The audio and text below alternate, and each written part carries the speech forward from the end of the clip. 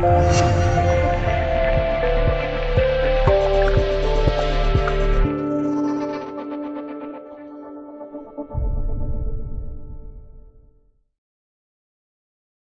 于夫妻俩的共同财产，不是一方想花就可以花的。有时候，花夫妻俩的共同财产是需要双方都需要同意的。也就是说，夫妻俩处理夫妻共同财产时，双方是具有平等的权利的。不仅仅是在日常生活中的对夫妻共同财产的处理上，在非日常生活中的重大财产决定时，更需要平等的协商才可以。婚姻法第十七条有夫或妻对夫妻共同所有的财产有平等的处理权的规定，其实有两层含义：一，夫或妻在处理夫妻共同财产上的权利是平等的，因日常生活需要而处理夫妻共同财产的任何一方均有权决定。比方说，平时生活中的买米、买个衣服、生活用品之类的，只要有一方决定就可以了。二夫或妻非因日常生活需要对夫妻共同财产做重要处理决定，